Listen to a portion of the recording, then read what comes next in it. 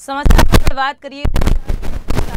પારડી તાલુકાના પલસાણા ગામના ડેપ્યુટી સરપંચ સામે પારડી પોલીસ મથકમાં છેતરપિંડી અને વિશ્વાસઘાતનો ગુનો દાખલ થતા પારડી તાલુકા પંથકમાં ચકચાર મચી જવા પામ્યો છે. મળતી માહિતી મુજબ હાઈવેમાં ગયેલી જમીનના બદલામાં વધુ ક્ષેત્રફળવાળી જમીન ફાળવી આપવાની વડાપ્રધાન નરેન્દ્ર મોદીની સ્કીમ હોવાની લોભામણી વાત કરી રૂપિયા પાંત્રીસ લાખ એકોતેર હજાર બસો પડાવી કલેક્ટરના હુકમ બનાવીને મામલતદારના સહી સિક્કા લગાવી હુકમ જમીન માલિક સુરેશ મખીજાને પકડાવી દીધો હતો. જો કે મામલો મામલતદાર એનસી પટેલની સામે આવતા આ હુકમ બોગસ હોવાનું બહાર આવતા પોલીસ ફરિયાદ નોંધાવી હતી. જે બાદ આરોપી મિત્તલ જોશીની પોલીસે ધરપકડ કરી છે ત્યારે હવે અન્ય આરોપીઓના નામ ખુલવાની શક્યતા છે.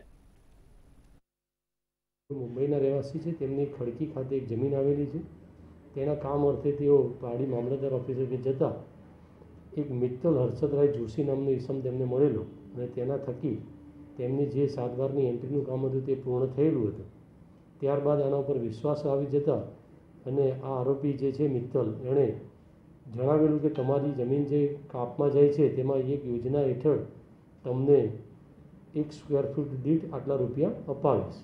અને પોતે નાયબ મામલતદાર છે તેવું જણાવેલું, જેથી તેના ઉપર વિશ્વાસ રાખી અને આ કામના ફરિયાદીએ અલગ અલગ સમયે જુદી જુદી રીતે પાંત્રીસ લાખ રૂપિયા જેવી માતબર રકમ તેઓને જુદા જુદા એકાઉન્ટમાં જમા કરાવ્યું.